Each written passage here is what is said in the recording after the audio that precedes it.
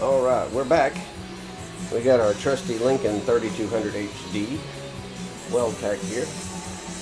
We're clamped up. We're ready to go. I'm gonna go ahead and lay a couple of patches on this to get it to stick together, test fit it, make sure everything's the way it's supposed to be, and we'll go from there. So maybe if we're lucky, this will work out. Let's give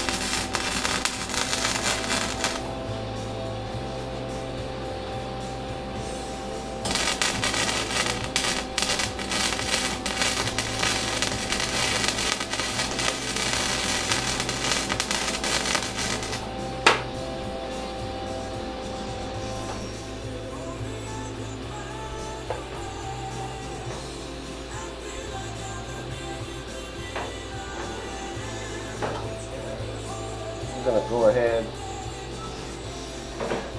check these nasty welds out, grind them up, go from there.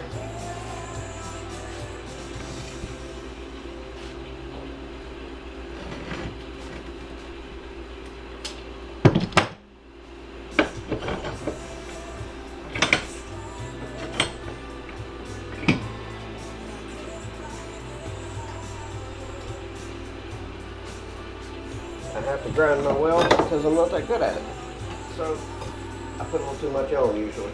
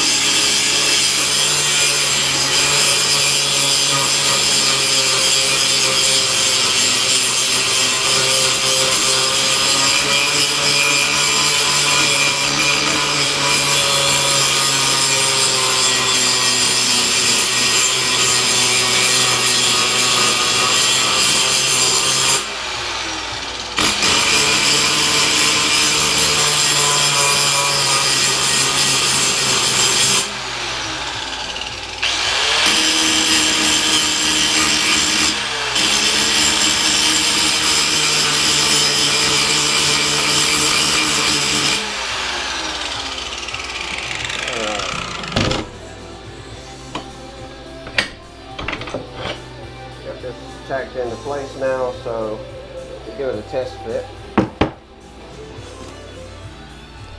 My welds are kind of like uh, Top Gear. Ambitious, but rubbish. But hopefully, by the time I'm done, we'll have a nice solid bead around it. So, here is the realization of the plan.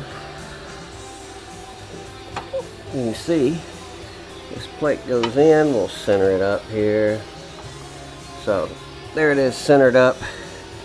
You can see the tube going behind there. We'll go ahead and put some more square going upwards and we'll fill in the gap on the bottom underneath it here.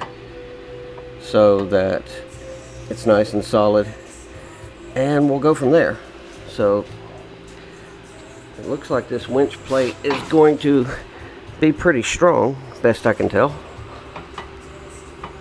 so finish welding it up and doing all that but that's where we're at right now so you can kind of see where we're going with the idea here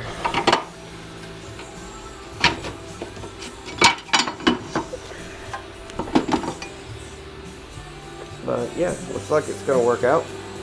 So we'll just finish it up.